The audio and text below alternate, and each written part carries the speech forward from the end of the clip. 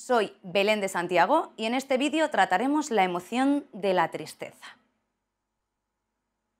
Paul Ekman incluye la tristeza en el grupo de las seis emociones básicas. ¿Cuándo la experimentamos?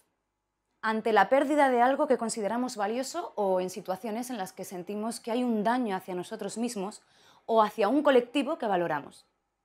Haz una lista con aquellos estímulos, situaciones, experiencias que te han provocado tristeza. Compara esta lista con la lista del enfado. Tal vez encuentres similitudes. A veces los mismos estímulos pueden llevarte a la tristeza o al enfado dependiendo del momento o del contexto en que se den.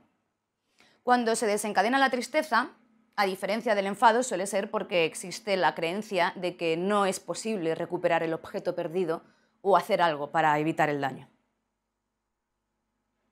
La tristeza tiene una función de ahorro energético, disminuye los niveles de activación de la persona, evita malgastar esfuerzos y centrarlos en las funciones más básicas. Por eso, otra función fundamental es la de expresar a los demás que necesitamos ayuda.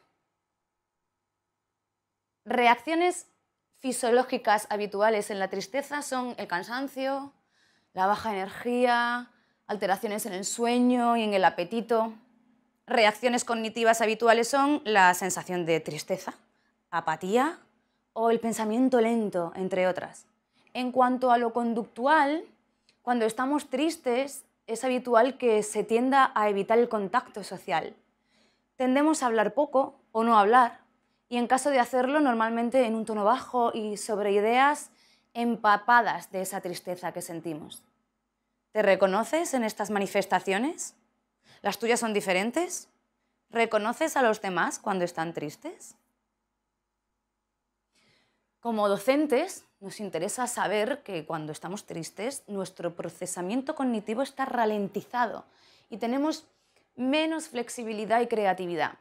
Tenemos una mayor rigidez mental. Tal vez necesitamos pautas o ideas que nos ayuden a avanzar. Pero la tristeza también puede ser útil para ciertas tareas, como la detección de errores o la reflexión. ¿Qué le pasa hoy a Valentín, que no presta atención en clase? ¿Está triste o se trata de otra cosa? ¿Estará aburrido o agobiado?